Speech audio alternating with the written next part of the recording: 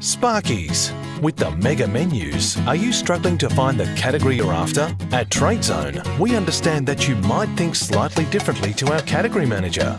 And as a result, you might look for or call products differently to what we do. Here's a tip that can help. Within the search box, type something fairly generic that should bring up at least one of the type of product you're looking for. Click into that product, and then along the top you will see its category hierarchy, including the actual category that product lives in. Once there, you can use the attributes to drill down and hopefully find the product you're looking for, or even perhaps a cheaper alternative. The further back you click in the category hierarchy, the more category options will show up. TradeZone. Save time, save money.